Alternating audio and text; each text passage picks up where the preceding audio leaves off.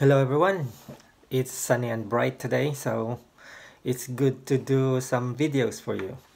Right, I'm doing this video to answer some of the questions that was asked about my Zoom G1Xon on how I use it or how efficiently I can use my Zoom G1Xon during gigs or recordings or even during rehearsals. So this will be a three-part video. The first part would be the essential things that I normally use or do with my Zoom G1Xon. The second part is about the patches that I use and the last bit is the sound test of those patches.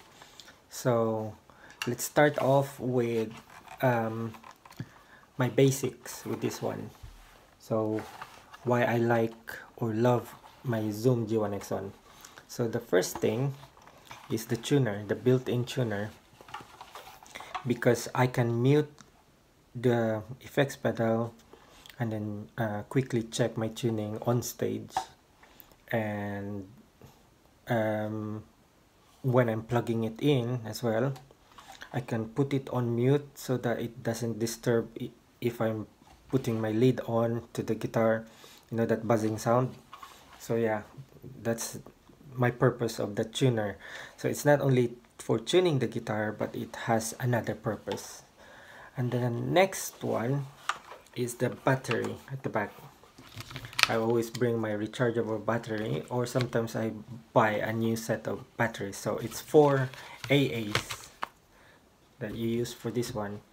Because sometimes when you showed up on gigs there's no available power outlet or at times it's all used up by either the amps or obviously if you're got bandmates and their effects pedal doesn't have an option for batteries then it's necessary for them to use the power outlet. But with me I don't bother with it because I can use my battery for this one and also having said that because it's battery operated while waiting for your gig or for your time slot you can tune again tune your guitar while waiting because you can use this as tuner. Just put on your battery and then you can tune this. And it's got headphone option. When you got the battery on you can even jam while waiting. So it's handy for the battery option. Last I've mentioned about the headphone out. You can select that one as a line output meaning if your amp got busted or during rehearsal it's too bulky or heavy to bring along your amp you can use the direct out for this one to the PA um, it happened one time when we got a gig somewhere um, Hertfordshire I think. And they provided the amps for us. But the first band um, sort of toasted or um, damaged the amp that was provided. So we're, we're left with one amp. So what I did was that amp goes to the other guitarist lead vocals. And I used this one direct to the PA and it didn't stop our, our gig from happening because of that option where you can just directly plug your effects pedal to the PA system. And another time as well that it happened was an open mic. They only got one um, guitar amp so I had to put this one directly to the PA system.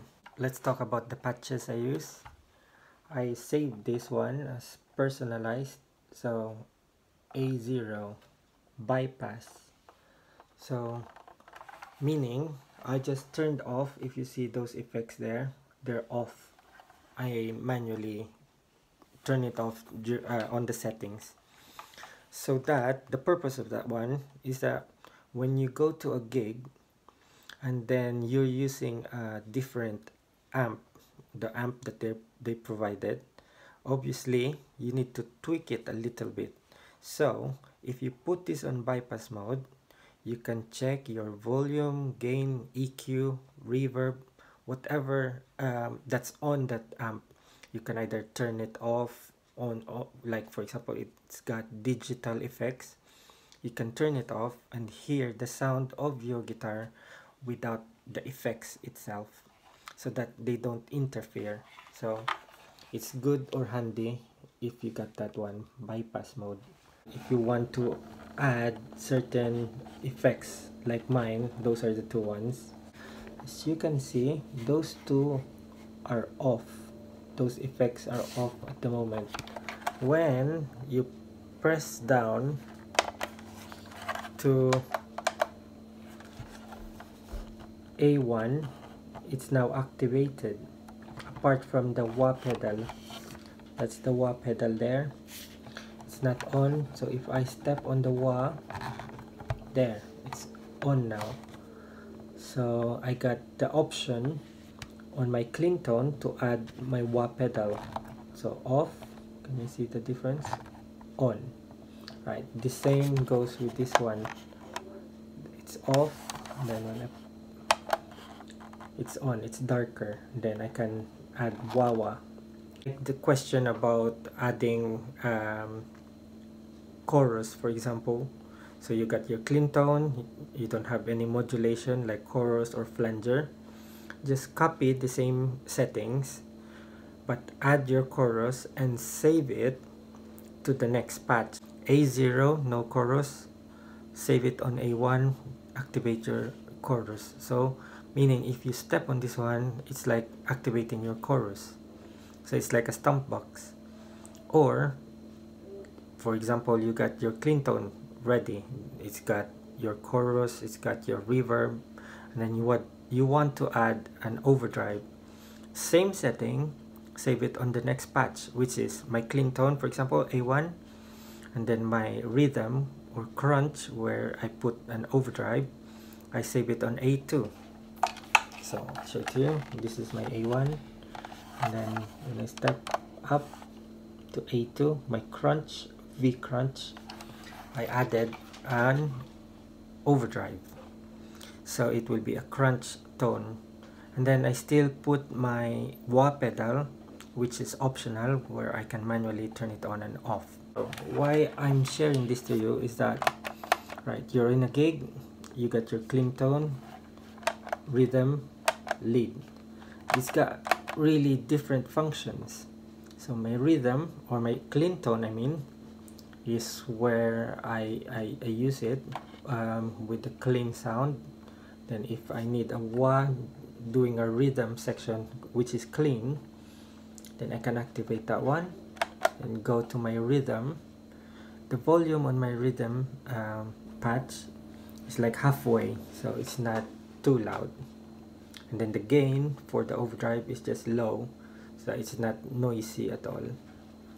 And then my lead tone the volume is higher. And then there's added more like delay etc we'll talk about that one. My lead tone now there V uh, lead. So this is um, I got a pedal wah pedal. And then um, we can scroll it because that's not activated at the moment. Uh -huh. to activate that one you need to press a pedal off on.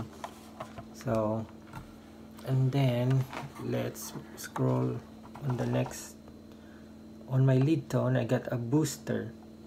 And that's the setting there the gain and the level. So gain is almost all the way. It's like number 8 or 9 if the gauge is up to 10 if you're looking at it as a clock it's on 4 o'clock I think. And then my level is also high. It's on 3 o'clock. Okay. And then next my next in the pedal chain is the BGN overdrive okay so or drive I mean. So you got gain tone and level. So tone is a bit low almost 1 I think or 0 and then gain is uh, 3 o'clock and level is 2 o'clock. Next there you go. It's my EQ okay. Some of you wouldn't need EQ especially if you got a very nice guitar. Uh, if you got a cheap guitar this will help improve the tone of your guitar. Next delay. That's very important. When you're doing lead you need to have a bit of delay so that it will sustain or make your sound like it's flying.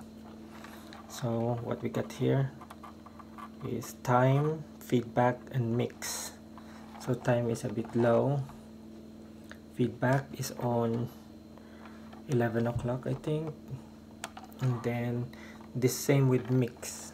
It's 11 o'clock. So that's it. That's my lead tone. It's a trademark lead tone and I'm sharing it to you guys. Right on the next video will be uh, the sound test. Let's tune the guitar first